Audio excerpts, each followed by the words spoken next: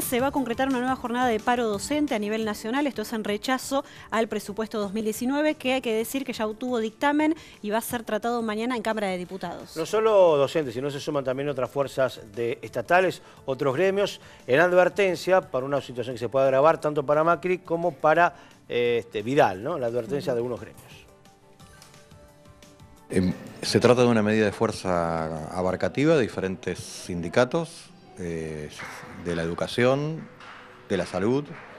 El sindicato judicial va a estar presente, para el Banco Nación también, eh, la CONADU, los médicos agrupados en la CICOP. Digamos, es un, paro abarcativo porque tiene un, objetivo muy preciso. Eh, el rechazo al acuerdo con el FMI que se va a plasmar o intenta plasmarse en un presupuesto a las medidas de las imposiciones de este organismo internacional.